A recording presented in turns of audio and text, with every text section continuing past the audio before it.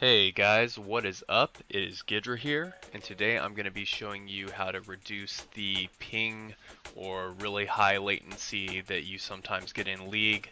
As you know, if you play with a really high ping, it's basically the equivalent of lag in League of Legends, and it causes your mouse clicks and your character and everything really just move around really slow and sluggish.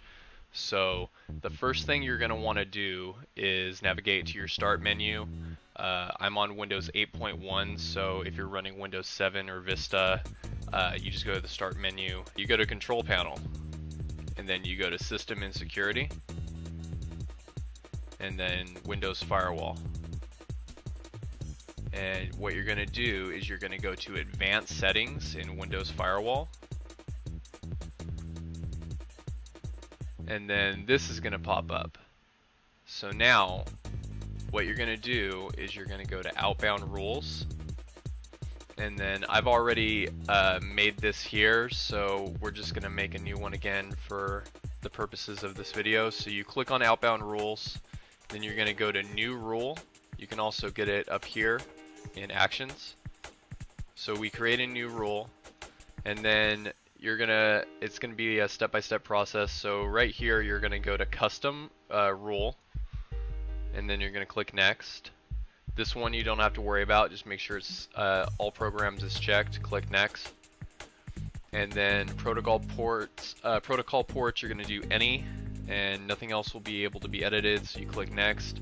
Now here's uh, where we're gonna basically add the ports so that you get a reduced latency, reduced ping in League of Legends.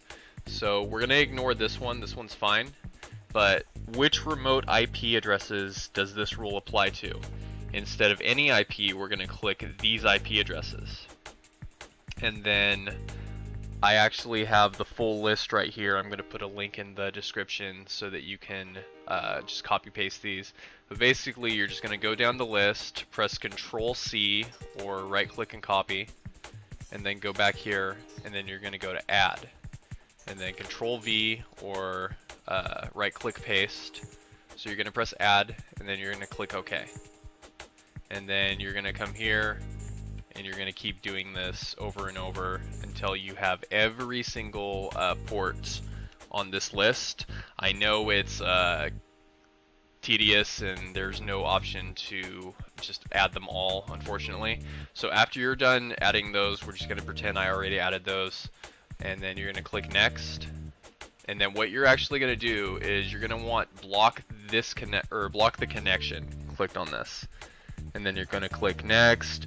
You want to make sure that all these boxes are checked so that it applies to all these rules and then you're going to name it uh, like I just named mine league please but you can name it like league ping and then you're going to do finish.